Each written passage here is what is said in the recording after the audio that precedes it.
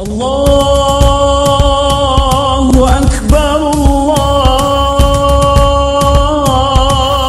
أكبر الله أكبر. لا إله إلا الله والله أكبر. الله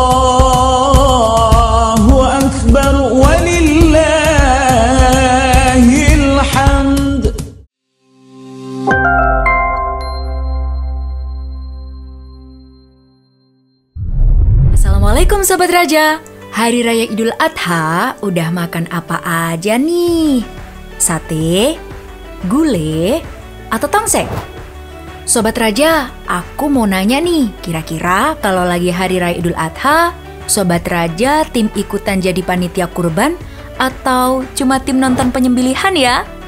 Kalau aku sih tim nonton doang Karena takut diseruduk kambing Oh iya Sobat Raja, ngomong-ngomong soal Idul Adha, Perguruan Islam Rodotul Jannah juga menyelenggarakan penyembelihan pada hari Senin 11 Juli 2022 loh.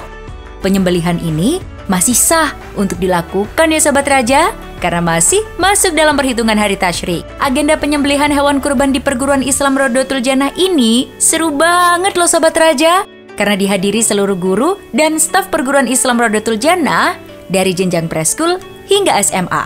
Gak mau kalah, anggota OSIS SMP dan SMA Rodotul Jannah juga turut terlibat dalam acara ini, baik pada saat pembagian dan penyembelihan kurban. Tahun ini, acara penyembelihan di Perguruan Islam Rodotul Jannah menyembelih sebanyak 5 ekor sapi yang nantinya hasil kurban akan dibagikan kepada kaum duafa dan mereka yang membutuhkan. Gak hanya menyembelih aja, Kegiatan ini juga dimeriahkan oleh live streaming dari masing-masing jenjang pendidikan untuk membahas lebih dalam mengenai pemaknaan sebenarnya dari Hari Raya Idul Adha. Hayo Sobat Raja, sempet nggak ikutan live-nya? PMK atau penyakit dan kuku adalah penyakit uh, virus yang disebabkan oleh virus penyerang pada hewan mama uh, mamalia ya, uh, terutama sapi, domba, uh, kambing, kerbau, dan babi. Dan penyakit ini tidak menular ke manusia.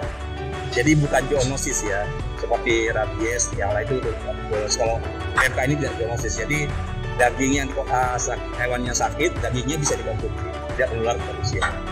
Ciri-ciri yang jelas pada penyakit uh, hewan kena PMK itu adalah adanya lesi ya, lepuh-lepuh di daerah kosa mulutnya ya sampai di hidung mulutnya kalau kita buka uh, apa mulut itu ada lesi-lesi seperti sariawan dan itu mengeluarkan uh, apa lendir di, di apa di, di, di dari mulutnya ciri-ciri untuk hewan kurban itu pertama ya hewannya sehat tidak cacat.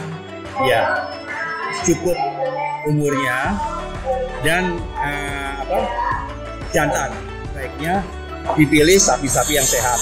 Ya dengan dengan sapi sehat ini perlakuan perlakuan terhadap daging pun akan lebih mudah ya pagi ini kami berada di SMP Rogo Jannah Kecilegi Baru Sidoarjo yang melaksanakan ibadah kurban ada lima ekor sapi yang kami sembelih di sini dan nantinya akan kami bagikan kepada warga di sekitar SMP Rogo Jannah dan juga kepada guru-guru yang ada di sini.